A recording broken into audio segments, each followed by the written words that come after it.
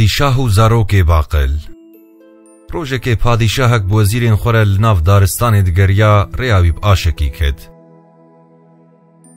قراش همو پرسین پادشاهین درباره آشدب جواب گر کیفا پادشاه جیره هات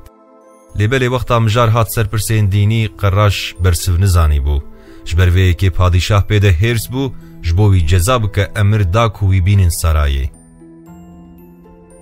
پادشاه گرا خو ادارستان ابداوی کر دکر وگر یا سرای لزارو کې کشوان را سات بزاروک ر صحبت کرو لزیرکتی اوی حیران ما زاروک هم جه علمی دینی هم جه درباری شوانتیه ده پر زنابو پادشاه خواست بی بخوره ببه سارایی باشه پادشاه از ایورم انجاق شرطکی من هیه دبه وی زلام گریدائی سربس بردن شخیرا خود را تزانی ما مچما ده سیوی گریدائی خورتو اف زلام همو پرسین درباره آشتب جواب کر انجاق سوالین دینی به جواب هشت. جبروی قاسی دبه چما نزان دینی خواه ازی وی جزاب کن؟ پادیشاهێ من